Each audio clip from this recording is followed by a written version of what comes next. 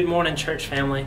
Amy and I have been in Costa Rica for nearly two months. It's been an exciting two months filled with lots of adventures that I'd love to be able to share with you, but I'm sure time restrictions um, don't allow that.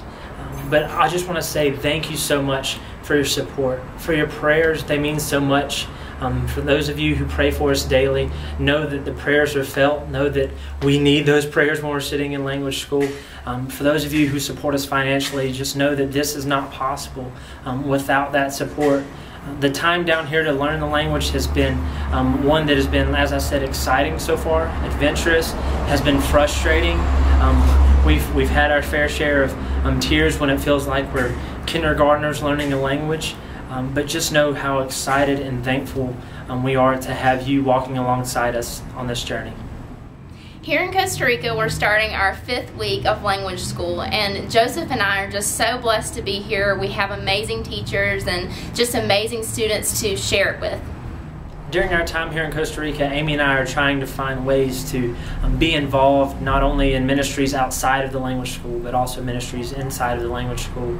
And one way, one of the ways that I've been able to be um, involved with the ministry inside the language school is um, through being able to help lead worship at the language school's chapel services. Um, and this is just a time for all the students and faculty alike to come together, for students to be able to worship in English. Sometimes we lead songs in Spanish so um, the faculty can appreciate it as well.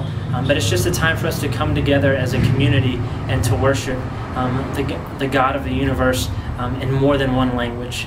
And it's just been an incredible experience.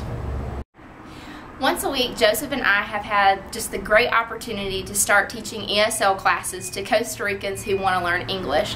That ha this has given us such an opportunity to not only teach people how to uh, speak English, but also to minister them and to, to share Christ with them.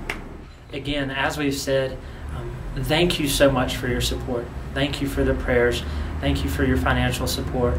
And please um, know that we will be faithful in lifting you as a church family up daily um, as we um, hope and pray that you will be faithful in lifting us up in prayer daily. Thank you again. God bless. And y'all have an awesome morning of worship. Bye. Bye.